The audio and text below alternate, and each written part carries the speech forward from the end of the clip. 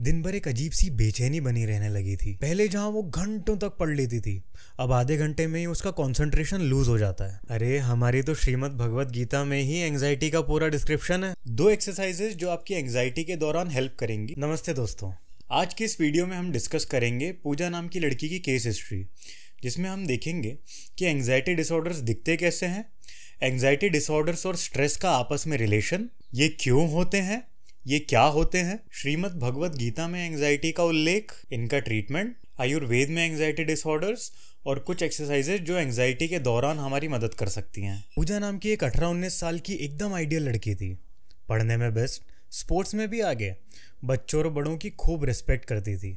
सब कुछ एकदम बढ़िया चल रहा था, कोई टेंशन ही नहीं थी। लेकिन जहाँ पहले उसकी नींद रात दस बजे ही लग जाया करती थी धीरे धीरे ग्यारह, बारह, एक, और अब तो तीन भी बज जाया करती थी। दिन भर एक अजीब सी बेचैनी बनी रहने लगी थी। पूजा को हर छोटी छोटी चीज़ के बारे में बुरे ख्याल आते थे, जैसे कि अगर छोटा भाई घर के बाहर गया है और उसे थोड़ी सी ज़्यादा देर हो गई तो सीधे, अरे, कहीं उसका एक्सीडेंट तो नहीं हो गया होगा?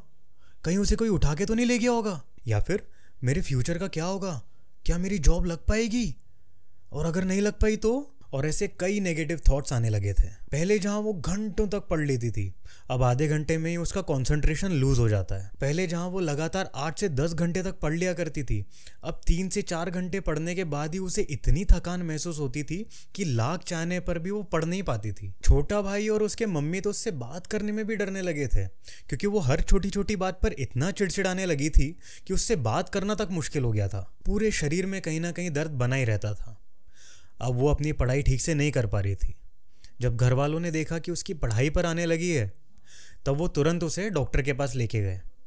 डॉक्टर ने पूरी हिस्ट्री सुनकर उसे एक साइकाइट्रिस्ट के पास रेफर कर दिया। पूजा और उसके घर वालों ने साइकाइट्रिस्ट से पूछा, डॉक्टर साहब, ये पूजा के साथ क्या हो रहा है? साइकाइट्रिस्ट ने पूरी हिस्ट्री और एग्जामिनेशन के बाद में उनसे कहा कि पूजा को एंग्जाइटी डिसऑर्डर या आसान शब्दों में कहें तो चिंता करने की बीमारी हो रही है। घर वाले लेकिन इसे तो कोई टेंशन की बात है ही नहीं। और छोटी मोटी बातों का तो ये टेंशन लेती भी नहीं है। इस पर साइकाट्रिस्ट ने कहा कि साइकाइट्रिक इलनेसेस जैसे कि एंग्जाइटी डिसऑर्डर्स डिप्रेशन होने के लिए किसी टेंशन का होना ज़रूरी नहीं है। ये किसी को भी हो सकती हैं। हाँ अक्सर ये बीमारियाँ टेंशन के कारण बाहर ज़रूर आ जाती हैं, लेकिन टेंशन इनके होने का मुख्य कारण नहीं है।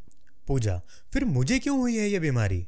मेरी फ्रेंड तो मुझसे कहीं ज़्यादा टेंशन लेती है, उसे क्यों नहीं हुई? इस पर साइकेट्रिस्ट ने कहा कि ये बीमारियाँ बहुत सारे फैक्टर्स पर डिपेंडेंट होती हैं। जैसे कि आपका जेनेटिक्स आपका इन्वायरमेंट आप कैसे इन्वायरमेंट में पले बड़े हैं आपका बचपन कैसा बीता है? आपके लाइफ एक्सपीरियंसेस कैसे हैं? आपके हॉर्मोन्स के लेवल कैसे हैं? आपके वाइटामस के लेवल कैसे हैं? और भी बहुत सारी कई छोटी छोटी बातों पर डिपेंडेंट होती हैं। किसी का दिमाग बाहरी टेंशन को काफ़ी ज़्यादा सहन कर सकता है, लेकिन किसी का दिमाग छोटी छोटी बातों से ही उलझ जाता है। इसमें किसी पर्टिकुलर इंसान की कोई गलती नहीं होती है। पूजा, इसमें होता क्या है एग्जैक्टली साइकाट्रिस्ट हमारे ब्रेन में कॉर्टेक्स स्ट्राइटम और थैलेमस के बीच में एक सर्किट होता है। जिसे कॉर्टिको स्ट्राइटो थैलेमोकॉर्टिकल या C S T C loop भी कहते हैं। नाम इम्पोर्टेंट नहीं है, काम इम्पोर्टेंट है। इसका काम होता है थोड़ा बहुत सोचना, समझना और छोटी मोटी चीज़ों का थोड़ा बहुत टेंशन लेना। लेकिन अगर यही टेंशन बहुत ज़्यादा बढ़ जाए या C S T C loop over activate हो जाए तो फिर ये एक बीमारी बन जाती है और उसके कारण एंग्जाइटी के सिम्टम्स आने लगते हैं। इसमें हमारी ब्रेन के इनहिबिटरी न्यूरो मतलब ऐसे न्यूरो जो कि न्यूरॉन्स की एक्टिविटी को कम करते हैं, जैसे कि सेरोटोनिन गाबा इनका लेवल काफ़ी कम हो जाता है। वहीं ऐसे न्यूरो जिनके कारण न्यूरॉन की एक्टिविटी कई ज़्यादा बढ़ जाती है मतलब कि एक्साइटेटरी न्यूरो जैसे कि नॉर एपिनेफ्रिन ग्लूटामेट, इनका लेवल काफ़ी ज़्यादा बढ़ जाता है। इन शॉर्ट, न्यूरॉन्स ज़रूरत से ज़्यादा ही एक्टिवेट हो रहे हैं, जिनके कारण एक ही एक बात, एक ही एक थॉट गोल गोल गोल गोल आपके दिमाग में घूमती रहती है, जिसे वरी कहते हैं। और साथ ही साथ एमिकडेला जो कि हमारे ब्रेन के फियर के लिए रिस्पॉन्सिबल होता है मतलब कि डर के लिए रिस्पॉन्सिबल होता है, वो और उसके सारे सर्किट्स भी ओवर एक्टिव हो जाते हैं। तो जो भी बात आपके दिमाग में गोल गोल घूमती रहती है वो इस फियर के साथ एसोसिएट होकर एक नेगेटिव थॉट बन जाती है। जैसे कि अगर थॉट आई कि यार मुझे यार दो टॉपिक्स पढ़ना है तो ये थॉट बार बार बार बार दिमाग में घूमती रहेगी और फिर ये डर के साथ में एसोसिएट हो जाएगी कि अरे, अगर मैं सिर्फ़ दो दो टॉपिक्स ही करूँगा तो मेरा कोर्स कैसे ख़त्म होगा? कोर्स ख़त्म नहीं हो पाएगा तो मैं एग्ज़ाम में क्या लिखूँगा? एग्ज़ाम में नहीं लिखूँगा तो फेल हो जाऊँगा। फेल हो जाऊँगा तो मेरे करियर का क्या होगा? पूजा, लेकिन मुझे ही क्यों? साइकाट्रिस्ट किसने कहा ये सिर्फ़ तुम्हें? ये वर्ल्ड वाइड पाँच परसेंट से भी ज़्यादा लोगों को है। और सिर्फ़ इंडिया के इंडिया में ही चार करोड़ से ज़्यादा लोगों को है। और ये इंडिया के नंबर्स तो बहुत ही कम है, क्योंकि ज़्यादातर लोग तो इलाज के लिए जाते ही नहीं है। उन्हें लगता है कि अगर हम साइकाट्रिस्ट के पास में गए तो हम पर मेंटल पेशेंट का टैग लग जाएगा। अरे, हमारी तो श्रीमद भगवत गीता में ही एंग्जाइटी का पूरा डिस्क्रिप्शन है, जिसमें अर्जुन जी को युद्ध के पहले ही एंग्जाइटी होती है। वो कहते हैं कि मेरा शरीर शिथिल हो रहा है, मेरा मुँह सूख रहा है मेरे शरीर में कपकपी आ रही है। मेरे रोंगटे खड़े हो रहे हैं। मेरे हाथ से धनुष गिर रहा है। मुझमें अब खड़े रहने की भी शक्ति नहीं रही है। और फिर कृष्ण भगवान उनको समझाते हैं, या फिर एक तरीके से उनकी साइकोथेरेपी करते हैं। अर्जुन जी को एंग्जाइटी डिसऑर्डर नहीं था। उन्हें सिर्फ़ उस टाइम के लिए एंग्जाइटी हो रही थी, जो कि युद्ध के पहले तो नॉर्मल ही है। तो ये सिर्फ़ तुम्हें नहीं हो रही है, पूजा। तो फिर मैं ठीक कैसे होंगी साइकेट्रिस्ट हमारे पास इसके कई सारे ऑप्शंस हैं। पहला ऑप्शन है साइकोथेरेपी जिसे कि आम भाषा में काउंसलिंग भी कहा जाता है। इसमें पेशेंट से बात करके उसे क्या चीज़ें परेशान करती हैं, उसके दिमाग में उलझन पैदा करती हैं, उन छोटी छोटी चीज़ों को भी बाहर निकाला जाता है और उन्हें सुलझाया जाता है। दूसरा है फार्मेकोथेरेपी यानी कि मेडिकेशंस इसमें पेशेंट्स को दवाइयाँ देकर ठीक किया जाता है। ये दवाइयाँ आपके ब्रेन में जाती हैं और केमिकल्स और उन अफेक्टेड ब्रेन एरियाज़ पर काम करती हैं।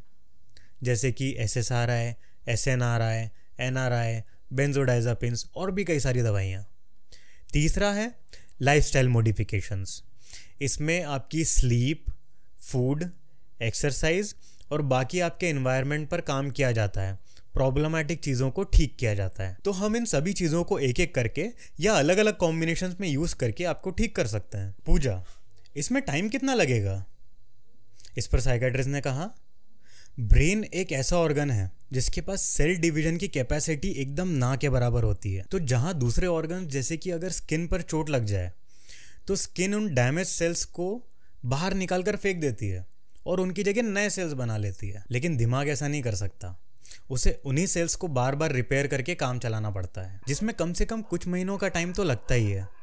लेकिन दवाइयों की मदद से एक हफ़्ते या दस दिन में आराम की शुरुआत होने लगती है। आयुर्वेद में जनरलाइज्ड एंजाइटी डिसऑर्डर का जुड़वा भाई है चित्तोद्वेग, मानसिक दोष, जैसे कि तमस और रजस के कारण ये होता है। और इसमें मनस्मृता वटाका, ब्राह्मीवटी और खास तौर से अश्वगंधा के काफ़ी पॉजिटिव इफेक्ट्स पाए गए हैं। पूजा इन आंसर से सेटिस्फाई होकर डॉक्टर की एडवाइस पर दवाई ले गई। और साइकोथेरेपी के लिए आती रही। दो वीक्स में ही उसके 90 परसेंट सिम्टम्स में आराम आ गया और लगभग एक डेढ़ महीने में तो वो पूरी तरह ठीक हो गई।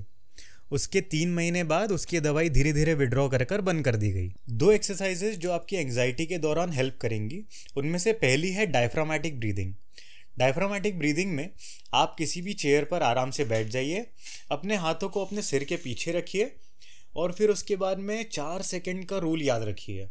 इसका मतलब ये कि चार सेकंड तक आपको गहरी सांस लेनी है, जितनी हो सके उतनी। फिर उसे चार सेकंड तक होल्ड करना है और फिर उसे पूरी तरीके से चार सेकंड में छोड़ देना है। और फिर चार सेकंड तक होल्ड करना है। इस एक्सरसाइज में सबसे ज़्यादा इस बात का ध्यान रखें कि आपका जो पेट है, वो आपकी छाती के कंपैरिजन में ज़्यादा फूलना चाहिए। मतलब कि एब्डोमिनल ब्रीदिंग करनी है आपको। वो सबसे ज़्यादा इंपॉर्टेंट है। ये आपकी वेगस नर्व को स्टिमुलेट करती है, जो कि आपकी हार्ट रेट और आपकी ब्रीदिंग रेट को कम करती है और आपकी पूरी की पूरी बॉडी को रिलैक्स करवाती है। दूसरी है जेकबसन्स प्रोग्रेसिव मसल रिलैक्सेशन जिसे जेपीएमआर भी कहते हैं। अगेन नाम इम्पोर्टेंट नहीं है। इसमें आप किसी फ्लैट सरफेस पर आराम से लेट जाइए, अपने हाथों और पैरों को एकदम सीधा रखना है। उसके बाद में अपने पैरों की उंगलियों को ऐसे एकदम टाइट मोड़ लीजिए। फिर उसे एकदम रिलैक्स छोड़ दीजिए। ऐसा कम से कम पाँच बार करने के बाद में उन्हें एकदम रिलैक्स छोड़ दीजिए। वैसा ही आपको अपने हर एक मसल ग्रुप के साथ करना है।